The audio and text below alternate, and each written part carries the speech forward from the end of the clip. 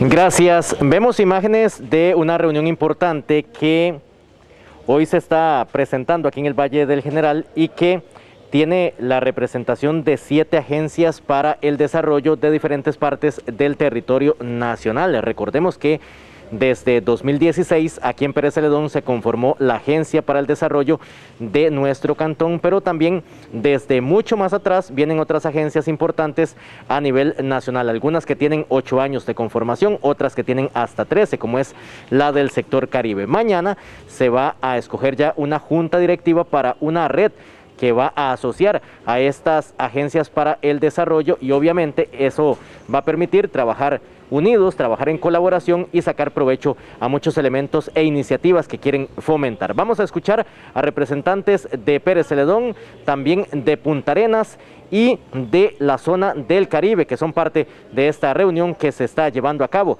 esta tarde aquí en el Valle del General. Hoy es un día muy importante para el cantón. Hoy recibimos a todas las agencias para el desarrollo del país. Eh, mañana vamos a tener la asamblea y ellos escogieron a Pérez Celedón como el anfitrión de, de la conformación de la Federación Red Nacional de Agentes para el Desarrollo Local. Hemos venido trabajando en el caso de la región Pacífico Central desde hace más de ocho años en crear una red de articulación entre el sector privado y el sector público. Y eso incluye eh, también la parte municipal. Este esfuerzo lo hacemos por región y cada uno ha venido trabajando sus áreas de trabajo y sus planes estratégicos. De ahí entonces la importancia de unir esfuerzos donde hay cosas que podemos hacer y no las podemos hacer solamente en la región. Entonces la idea es ubicar en las áreas estratégicas de trabajo a través de un esfuerzo de organización, pero a través de la red nacional que le hemos denominado la RENADEL. Este es el esfuerzo que estamos haciendo y venimos a culminar un proceso de formalización que ya hemos empezado desde hace ya varios años, como les decía, para materializarlo eh, con una, esta, la conformación de la Red Nacional de Agencias para el Desarrollo Económico territorial del país. Estamos muy contentos, en realidad es eh, digamos que la finalización de una etapa muy importante que venimos trabajando ya desde hace varios años Em, en los diferentes territorios.